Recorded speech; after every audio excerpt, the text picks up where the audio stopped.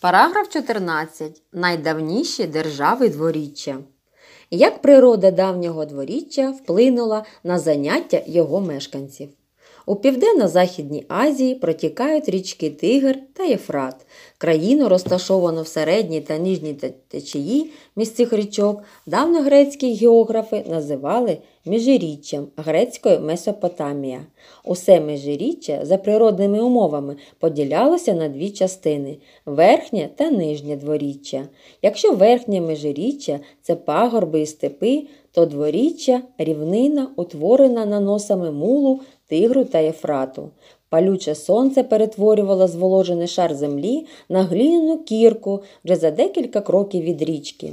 Справжнім лихом для мешканців були бурхливі повені, унаслідок яких утворювалися озера і болота. Тож, аби вирощувати хліб, люди мусили навчитися відводити воду, коли був її надлишок, та зрошувати лани під час спеки.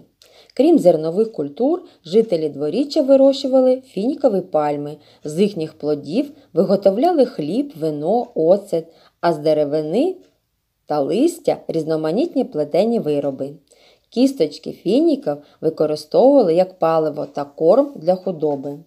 Надра дворіччя були багаті на поклади руд різних металів та родовища срібла з високоякісної глини виготовляли різноманітний посуд та цеглу.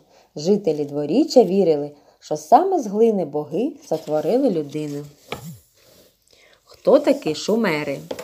Найдавніших мешканців дворіччя називають шумерами, а територію, яку вони заселяли шумером. Їхні поселення відомі від 4 тисячоліття до нашої ери. Уся територія Шумеру була втричі менша за Єгипет. Громаду тут очолював верховний правитель жрець, який прагнув одночасно бути і військовим вождем. Тому шумерський храм то не лише центр поселення, а й центр формування держави. При храмах зберігалися запаси продовольства на випадок неврожаю або стихійного лиха. Своїм головним богом шумери будували храми у вигляді багатоярусних східчастих споруд зикуратів.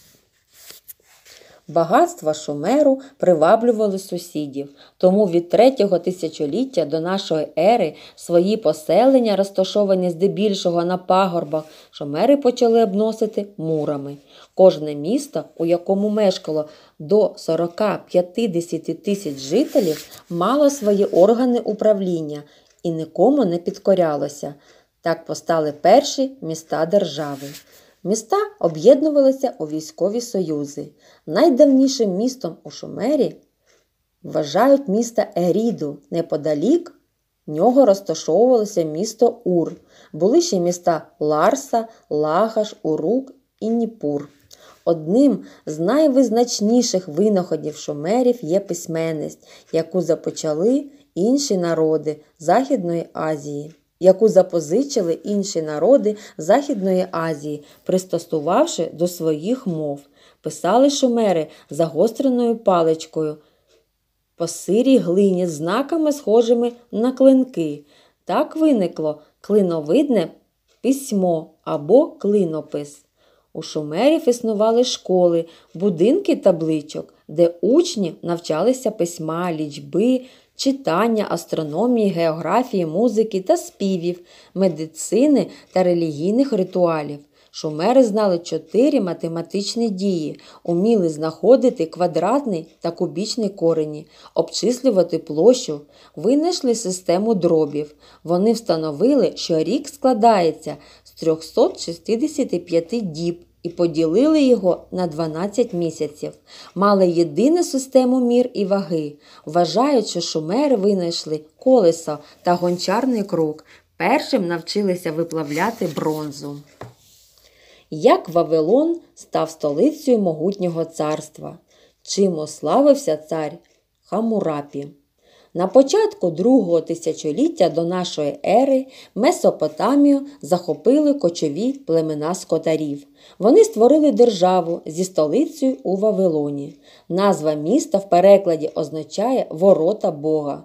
Розквіт Вавилона пов'язують з правлінням царя Хамурапі. з 1792 до 1750 року до нашої ери. Хамурапі підкорив собі все нижнє і частини верхнього межиріччя. Цар недремно стежив за господарським життям та збирання податків.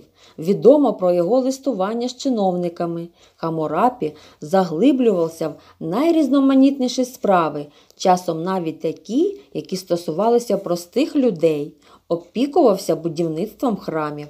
Своїм іменем назвав два зрошувальних канали, побудовані за його правлінням Хамурапі достаток і Хамурапі багатство народу. Землеробство лишалося найважливішим заняттям мешканців. Зерно продавали в сусідній країні.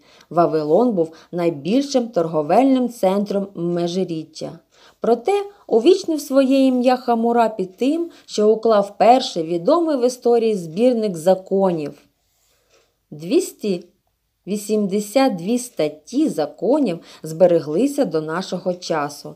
За законами Хамурапі все населення Вавилонської держави було поділено на три групи повноправних громадян-власників, тих, хто отримував знаряддя праці та землю на умовах, що працюватиме на державу, мушкенуми, а також рабів.